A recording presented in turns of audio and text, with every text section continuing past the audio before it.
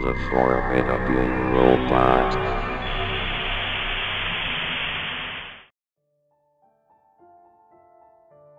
There's a strange phenomenon I've noticed on several television reports from the early 1960s onwards.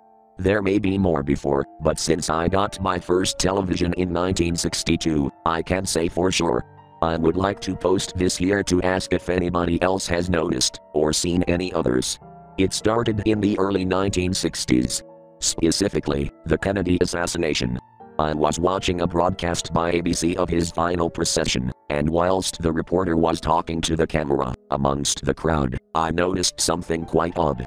A very scruffily dressed man, standing quite a distance behind the reporter, was staring right into the camera. He wore the typical attire of a homeless person.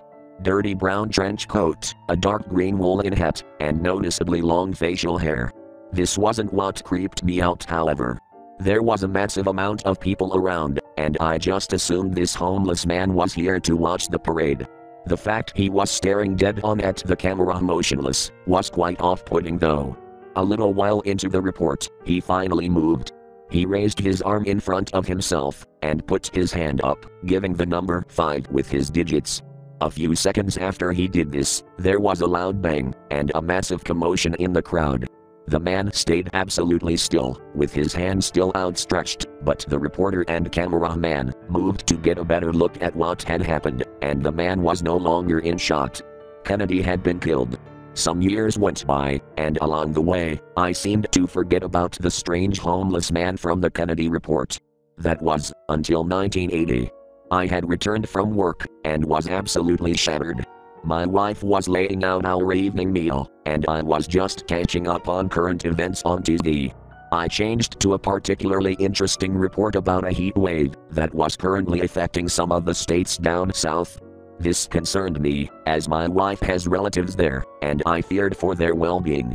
The news reporter was billing this as the worst American heat wave in decades. At that point, I noticed him again. In the distance, over the reporter's left shoulder, was the homeless man from the Kennedy report. I didn't notice him at first, and it was his initial movement that drew my eyes to him.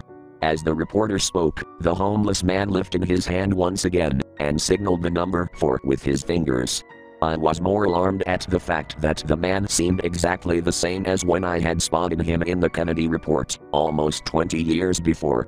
He was dressed the same, still wearing his trench coat, despite the reporter claiming that the heat was unbearable.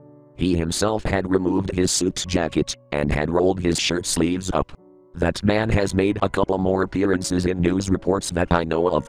One in 2001, during a report of the terrorist attacks on the World Trade Centers, where he held up three fingers, and more recently during reports of the devastation Hurricane Sandy caused in New York, where he held up two fingers. Each time, in all four of these news reports, he has been dressed exactly the same, and shows absolutely no emotion. The people around him seem to pay no mind to him, and each time he just stares directly into the camera lens, until the report ends, or the cameraman moves the camera away from him. I have wrote this because of his appearance in the Sandy reports. It is now 2012, and I know for a fact that DVD recording and such have become a lot more common. I have never owned a recording device myself, and so I haven't been able to capture the man in any reports.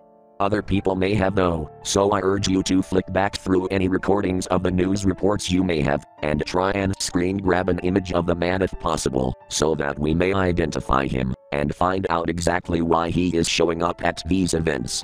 Right now I am very scared though. And I think it's plausible that you all should be too.